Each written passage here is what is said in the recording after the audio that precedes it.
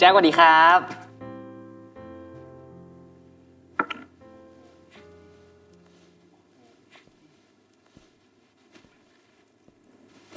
นอนอีกแล้วเหรอเอ้ยคิดถึงจังเลย นี่ลุงน้อยนี่หายหน้าไปเลย เวลาคิดถึงอะ ก็ต้องเปิด YouTube ดู ไม่งั้นอะ ก็ไม่ได้เห็นหน้าหรอกก็ ช่วงนี้งานช่อง YouTube มันยุ่งๆนะครับเอ๊ะนี่กัดก็เพิ่งจะย้ายสตูดิโอใหม่นะครับ น้องๆทีมงานเขาจะได้ทำงานกันสะดวกมากยิ่งขึ้น เฮ้ย มีสตูดิโอใหม่ ว้าว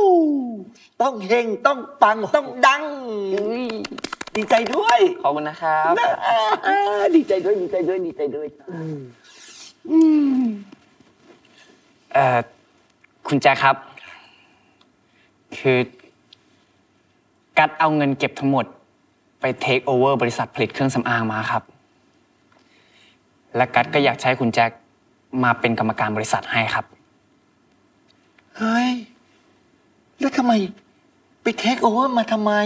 คือกั๊ตอยากจะลงทุนบริษัทผลิตเครื่องสำอางกับบริษัทของต่างประเทศนะครับ และกัดก็คอนแทคกับเขามาระยะหนึ่งแล้ว และที่กัดจะให้คุณแจ็คไปเป็นหุ้นส่วนหลักเนี่ย ก็เพราะว่า คุณแจ็คเป็นผู้ใหญ่ที่กัดรัก และไว้ใจมากที่สุดครับ เฮ้ยปลื้มมากมากกัดพูดจริง ๆ นะครับๆโอ้ย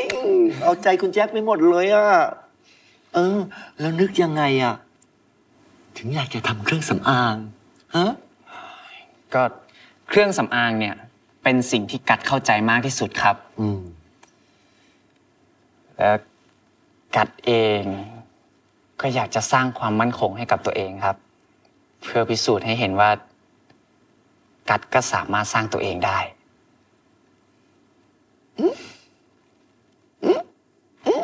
นี่ แววตามันฟ้องนะกำลังมีความรักกันสิ จะพิสูจน์ให้ใครรู้เหรอ มามามามามา อย่าปิดกุญแจ ไม่มีอะไรครับ ดูดูดูดูหน้าแดง ยิ้มหวานขึ้น เอ๊ะอย่านะอย่านะอย่านะอ่ามันอาการออกขนาดนั้นเลยเหรอครับ อะตามันฟ้องดูดูเขินแจ็คจะแซวสิครับ เขิน